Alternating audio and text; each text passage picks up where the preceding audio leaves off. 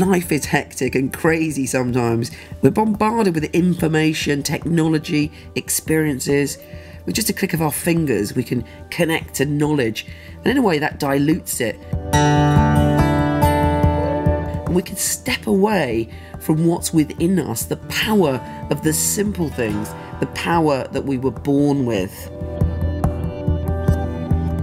So, why were you born a Virgo? Every sign has a secret superpower that can project them into and up along the game of life. This superpower can evolve your soul, transform you, and help you reach your dreams. Sadly, we're all born with this mega gremlin of a shadow that can also be very self destructive and lead us down the snake in the snakes and ladders game of life. So, I'm here to tell you all about what your superpower is.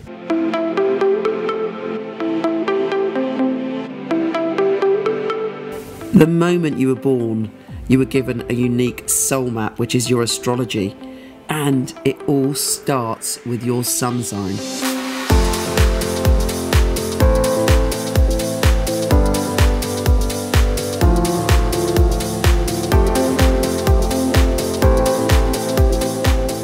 Virgo, you are ruled by Mercury, the planet of communication. And the way it particularly impacts you is you're very, very analytical. You are great. And your superpower is to be able to analyze any situation and actually get to that nub of it, to get to the core of it. But the downside, the shadow side of that is sometimes you can overanalyze until you lose the truth. So, how can you best use your superpower? Well, actually, Virgos are far funnier than they appear on paper. People often say of Virgos that they're very serious and they're very uptight. I disagree with that. All the Virgos I've ever met are actually hilarious because they have that quick wit. And also, they're you know very grounded in their wit and they're a pleasure to be around.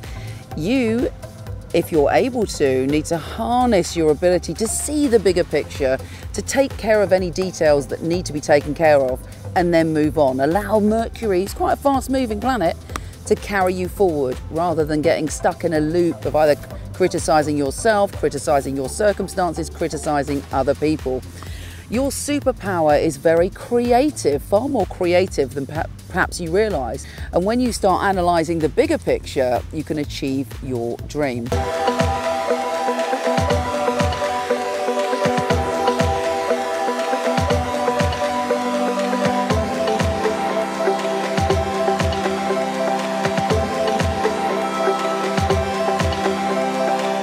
Now, when it comes to love, you're far more sensual than other people realise. As I've said in my other video, you are the virgin, but the virgin, the term virgin came about from, from women not being tied to a man, being actually quite free spirits. And I think that's the secret superpower that you have. You don't necessarily surrender your power, or indeed you don't have to. You can stand alone, but also share love. And sometimes it's difficult to get out of emotional situations that you feel trapped in because you're always analysing what the other person's doing. What are they thinking? What are they feeling? And that's a waste of your superpower.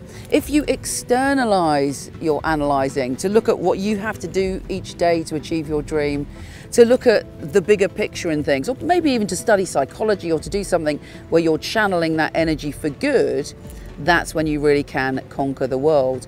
And as a lover, you can go to extremes. You can be wild and passionate and intense and have great love in your life, but there are also periods of your life that may be alone and, and internal and thoughtful.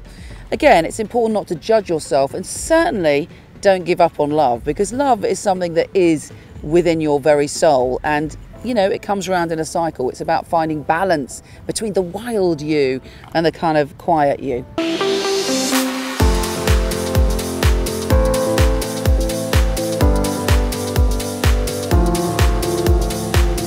Life is a merry-go-round. Sometimes it takes us on the wild ride of the roller coaster. Other times it's the Ferris wheel and we feel we're on top of the world or we're in the scary ghost train, terrified by events that are occurring.